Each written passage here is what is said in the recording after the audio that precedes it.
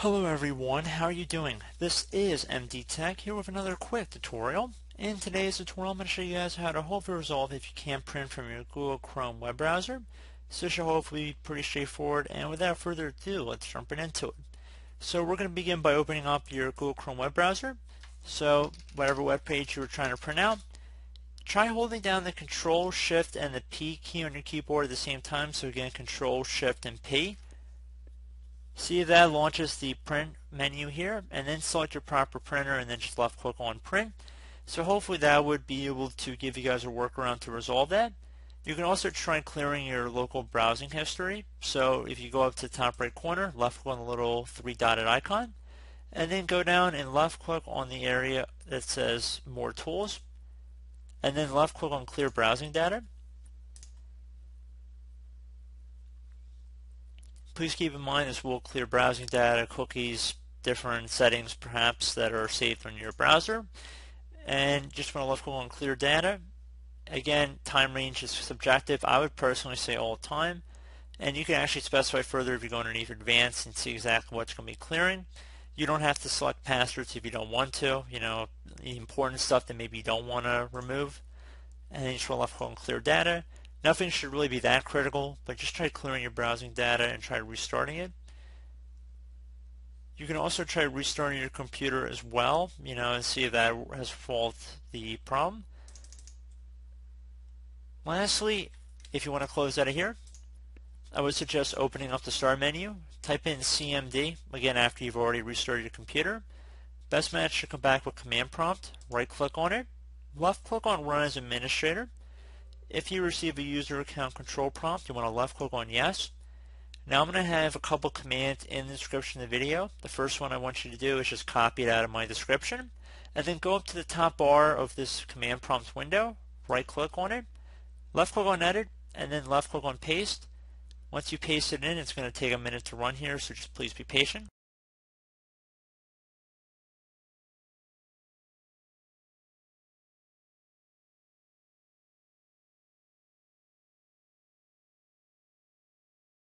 Again, the command will be in the description, and you'll know it's done once it says that the restore operation completed successfully, and it should be up to 100%. So just please be patient. This will take a moment.